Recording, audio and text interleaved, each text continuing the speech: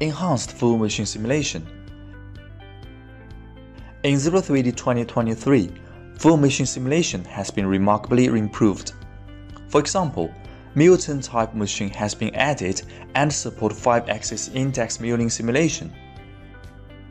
Select all operations to simulate its machining process by full machine simulation.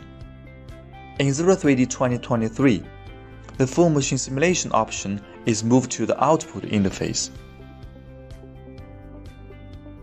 This is the new machine, 4X Mill-Turn.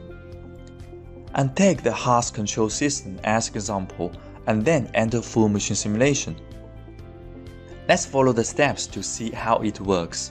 Step 1. Set workpiece frame. Step 2. Set the machine to a register. Step 3. Set up tools in the new turret interface. Then, run it until processing is complete.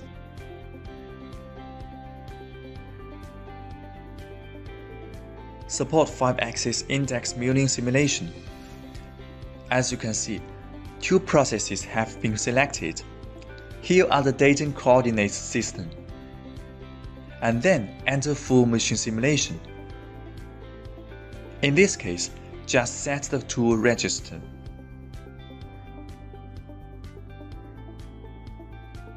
Then run it. You can adjust the position during operation and check the operations of the machine.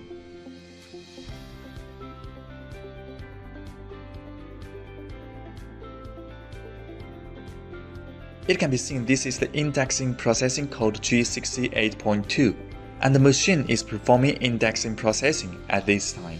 Keep running. New machine types and indexing processing make the full machine simulation more powerful.